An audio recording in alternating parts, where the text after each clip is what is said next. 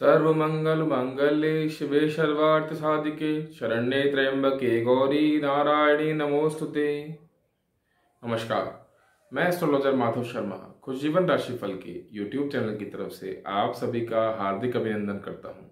12 दिसंबर 2021 वार रविवार के पंचांग को लेकर मैं आपके सामने प्रस्तुत हूँ। अगर आप हमारा वीडियो देख रहे हैं तो आप हमारे इस वीडियो को लाइक करें।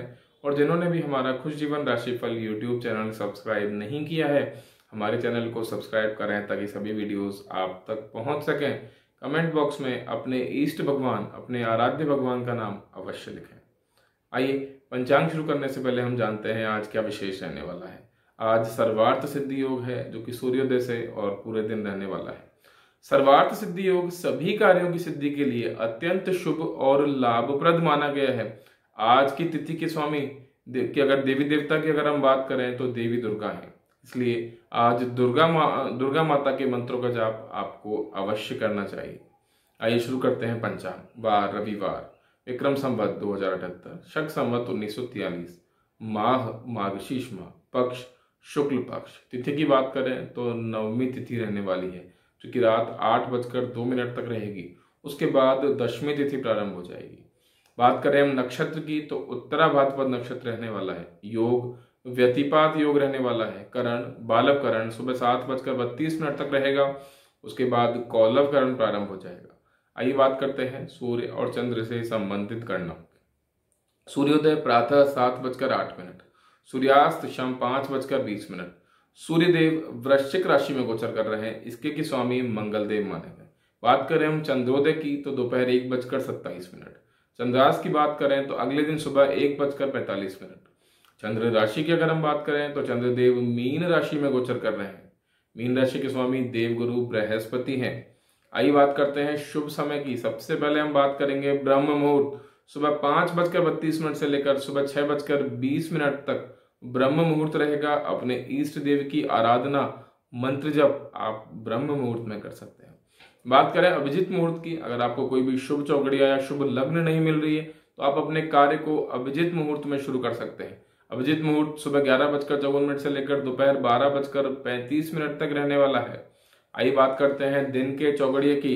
शुरुआत करते हैं उद्वेग का चौगड़िया। सुबह सात बजकर आठ मिनट से लेकर सुबह आठ बजकर पच्चीस मिनट। उद्वेग का चौगड़िया जो है, अशुभ चौगड़िया है। उद्वेग के बाद चर। आठ बजकर पच्चीस मिनट से लेकर सुबह नौ बजकर इकतालीस मिनट। चर का चौगड़िया सामान्य समय है। चर के बाद हम बात करें लाभ। नौ बजकर इकतालीस मिनट से लेकर दस बजकर बावन मिनट तक लाभ का चौगड़िया रहेगा।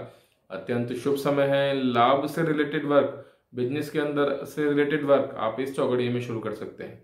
लाभ के बाद अमृत दस बजकर अट्ठावन मिनट से लेकर बारह बजकर चौदह मिनट तक रहेगा। यह भी अत्यंत शुभ समय है अच्छा चौगड़िया है। अमृत के बाद काल, बारह बजकर चौदह मिनट से लेकर दोपहर एक बजकर इकतीस मिनट तक रहेगा। काल का चौगड़िया, अशुभ चौगड़िया है। काल के बाद शुभ, एक बजकर इकतीस मिनट से लेकर दो बजकर सैतालीस मिनट तक रहेगा। शुभ का चौगड़िया अच्छा समय है। शुभ के बाद रोग। दो बजकर सैतालीस मिनट से लेकर चार बजकर चार मिनट तक रहेगा। रोग का चौगड़िया, अशुभ चौगड़िया है। रोग के बाद उद्वेग, चार बजकर चार मिनट से लेकर शाम पाँच बजकर बीस मिनट तक रहने वाला है। उद्वेग का चौगड़िया भी अशुभ चौगड़िया माना गया है। इन सभी चौगड़ियों में शुभ, लाभ और अमृत। तीनों चौगड़िए अत्यंत शुभ माने गए हैं। कोई भी शुभ कार्य आप इन तीनों चौगड़ियों में शुरू कर सकते हैं। साथ के साथ आपको शुभ राशि और शुभ लग्न भी देखना होगा। आइए बात करते हैं दिशाशूल। कि अगर आज के दिन कौन सी दिशा में यात्रा नहीं करनी चाहिए तो आज के दिन, आज का दिशाशूल है पश्चिम दिशा। फिर भी अगर जातक यात्रा कर रहा है तो यात्रा करने से पहले उसे घी का सेवन अवश्य करना चाहिए। आइए बात करें राहु काल और काल की। दोनों ही समय ज्योतिष शास्त्र में अशुभ समय माने गए हैं। राहु काल की बात करें, शाम चार बजकर तीस मिनट से लेकर शाम छह बजे तक राहु काल रहने वाला है। कोई भी शुभ कार्य, कोई भी शुभ यात्रा राहु काल में शुरू नहीं करनी चाहिए। बात करें हम गुलिक काल की तो तीन बजे से लेकर चार बजकर तीस मिनट तक गुलिक काल रहने वाला है। आइए बात करते हैं हम चंद्रबल, यानी शुभ राशियों की, कि कौन कौन सी राशियाँ आज शुभ राशियाँ रहने वाली हैं। तो आज की शुभ राशि हैं वृष, मिथुन, कन्या, तुला, मकर और मीन राशि।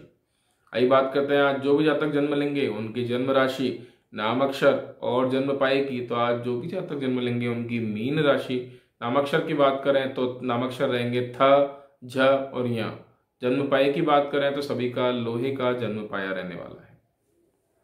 धन्यवाद।